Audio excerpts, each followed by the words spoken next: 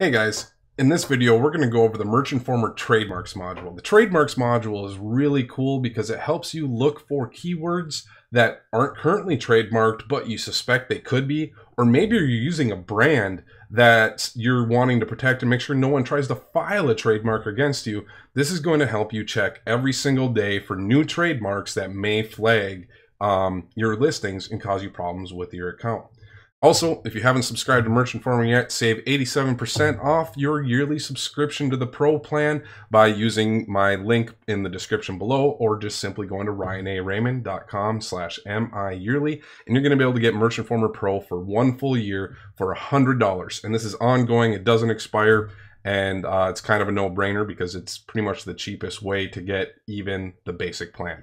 Um, even if you bought the basic plan at um, $9.99 a month and used my 20% discount code and brought it down to $8 a month, you're still going to be spending $96 for the entire year. So this is a $4 difference and going to give you a much better benefits and more features. So check out Merch Informer and uh, help support my channel.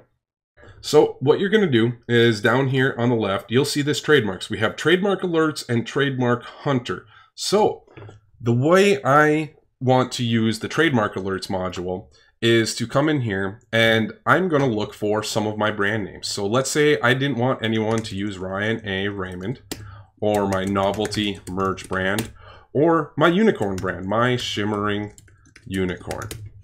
What this is going to do is let me save each phrase or keyword on the line and Merch Informer is going to check every single day for me and see if these phrases are safe to use or if there's any issues with them. You can put in all sorts of different um, phrases, however you're wanting to look for them. And this is going to check all of your listings or all of those keywords for trademarks and copyright issues. It's a really cool module. The other module in this trademark hunter is the um, trademark hunter. So let's say you have um, all of your listings. Um, so the trademark hunter module is going to check all of your listings for trademarks. All you need is a CSV file of your trademarks and upload it here and it's going to check it out. So I'll show you guys how to use it.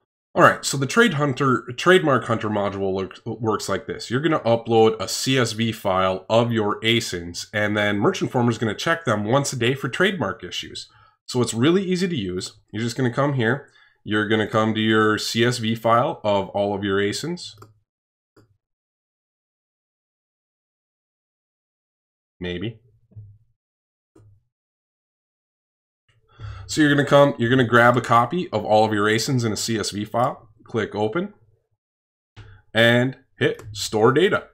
All right, so I stored my data in there. And in 24 hours, they're going to come back and let me know if I have any trademark issues with any of the listings I just submitted. It's a really useful module, and uh, I recommend you check it out.